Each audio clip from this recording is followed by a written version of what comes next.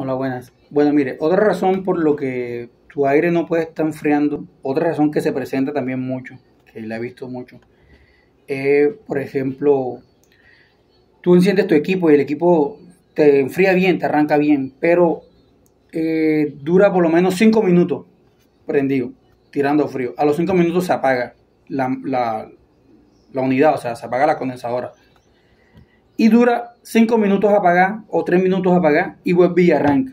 Y así se la pasa.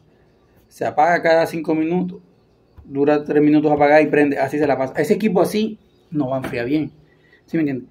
Porque los equipos sí se apagan. O sea, cuando eh, logran tener la temperatura deseada, ellos se apagan y vuelven y arrancan. Pero hay equipos que tú lo tienes en 17, lo tienes en 17 a máximo 16 y se apagan así, cada ratico y se prenden. Esos equipos eh, eso no es normal. O sea, que un equipo se apague cada rato y se prendan no es normal. Ellos sí lo hacen.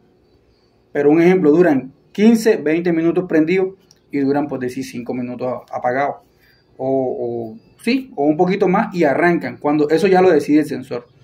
Pero a veces cuando ya el sensor está malo, porque a veces los sensores también se dañan, él hace eso, que lo apaga así, a veces lo apaga a los 3 minutos, porque yo le cojo el tiempo, a veces lo cojo el tiempo, 3 minutos apagado eh, prendido y dura cuatro o los mismos tres minutos o cinco minutos apagado y después arranca. Eso no es normal. No es normal. Entonces hay gente que no, que sí, que él se apaga, que es normal. No. Sí es normal que él apague y haga eso, pero en un ciclo más larguito. O sea, y, y aparte de eso, el, equipo enfría. O sea, el equipo siempre te va a mantener la temperatura. Si tú le colocas 20, 20 en, la habitación ya. Pero, pero imagínate, tú empiezas a a sudar y a rato que el equipo va arrancando.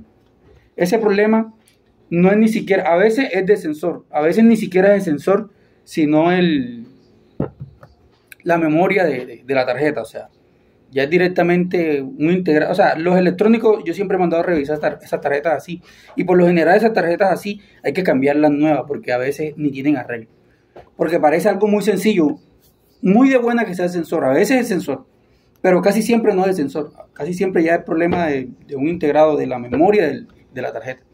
Entonces eso también hay que tenerlo en cuenta porque eso se presenta, inclusive aquí hay cualquier cantidad de aires así. Y ni siquiera así lo tienen.